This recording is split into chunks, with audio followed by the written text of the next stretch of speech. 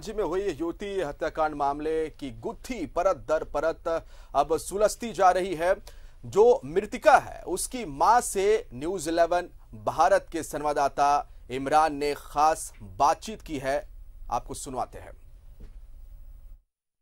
रांची के ओरमांझे थाना क्षेत्र में एक सिरकटी लाश बरामद की गई। रांची पुलिस ने इस कांड की तफ्तीश जब शुरू की तो सबसे पहली जो गुत्थी रांची पुलिस को सुलझानी थी कि जिस युवती की शव बरामद की गई है, वो है कौन और कहाँ के रहने वाले? जैसे जैसे इस केस के अनुसंधान को आगे बढ़ाया गया, एक परिवार के संपर्क से की गई, परिवार से सब संपर्क किया गया तो पता चला कि चन्हो चटवल की रहने वाली सुफिया नामक एक युवती हैं, जो कि पिछले कई महीनों से घर से गायब थी, उसकी पहचान उसकी माँ ने की थी। उसकी माँ ने पैर पे एक जले हुए निशान के सहारे अपनी बेटी की पहचान की थी। बेटी की पहचान क्यों नहीं कर पाती? जिस बच्चे की जिस बच्चे को माँ ने बचपन से पाला पोसा उसके एक एक चीज़ को वो जानती थी इसलिए पैर में जलने की पहचान से ही उसकी पहचान की गई। क्या ये सही है ना कि जलने की पहचान से उनकी पहचान की गई? कैसे पहचाने थे पैर में जलल था उससे पहचाने हम।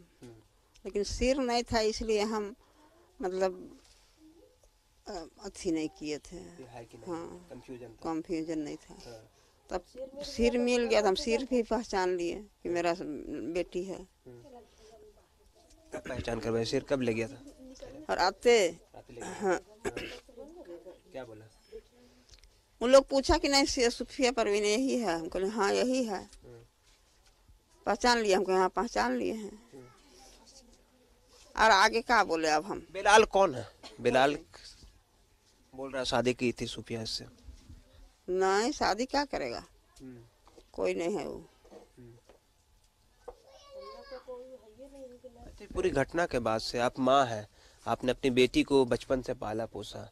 अचानक ये सुनने के लिए मिला कि उसका सर काट दिया गया है मार दिया गया। क्या चाहती हैं आप? माँ होने के नाते अपनी बेटी के लिए क्या इंसाफ चाहती हैं? उसको सजा होना चाहिए। सबसे कड़ी कड़ी सजा होना चाहिए। हम्म।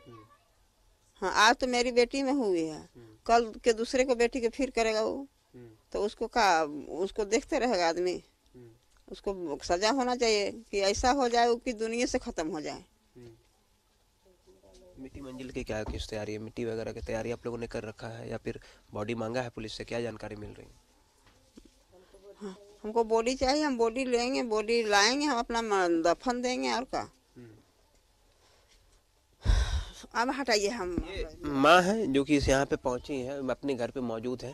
इसी माँ ने अपनी बेटी के एक जले हुए निशान से पहचान किया उसके बाद रांची पुलिस ने इस पूरी गुत्थी को सुलझाया है। कहीं ना कहीं इस माँ के दर्द को भी आप समझ सकते हैं कि इस बेटी को जिसने पाल पोस के इतना बड़ा किया और आज उसकी माँ को उस बेटी के सरकटा व लाश बरामद किया गया। अब परिवार के लोग दफन करने की प्रक्रिया जो है वो करना चाह रहे हैं। लगातार पुलिस से डिमांड भी कर रहे हैं। जो आरोपी है, उसे जहाँ कड़ी सजा दिलाया जाए, वहीं उसके बॉडी को परिवार को सुपुर्द कराया जाए ताकि मिट्टी मंजिल का जो परंपरा है, जो रीति रिवाज है, उसे की जा सके। कैमरा पर्सन हेमंत के साथ मोहम्मद इमरान, न्यूज़ इलेवन, रांची।